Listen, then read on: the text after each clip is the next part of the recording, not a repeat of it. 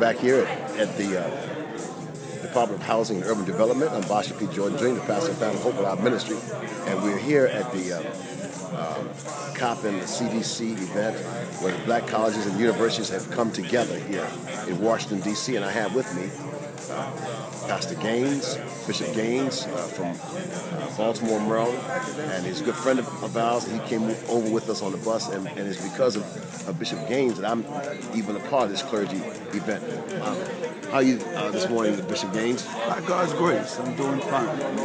By His grace. What is it that brings you here to Washington, D.C. to this CDC uh, event, historically black colleges and universities, and what, the, what, what is the expectation of the clergy? Well, we're here because we believe that uh, our motto is we can do together what one cannot do alone. And anyone who occupies the community is a part of the community and must be able to address the issues of the community.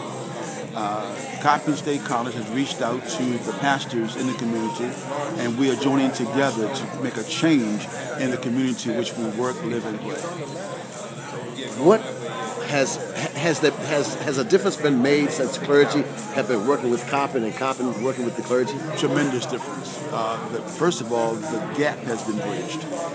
Uh, we, we understand that um, that the Jesus was very balanced in his teaching. We look at the time that he was approached in reference to taxes. And when the taxes uh, were to be paid, he said, render to Caesar Caesar, and God which is God.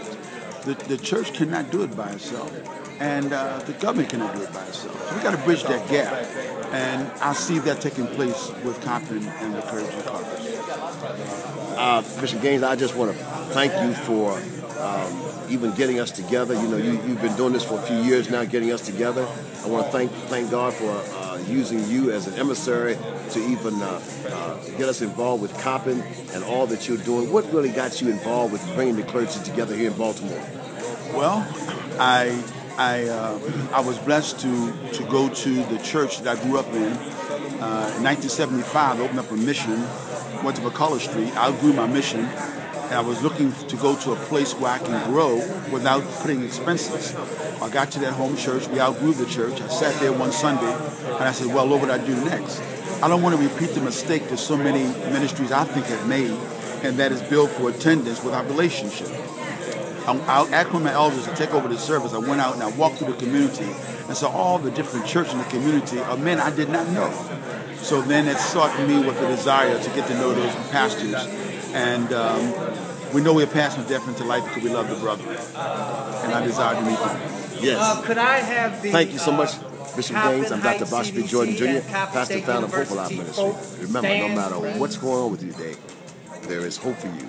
Hallelujah. Wow.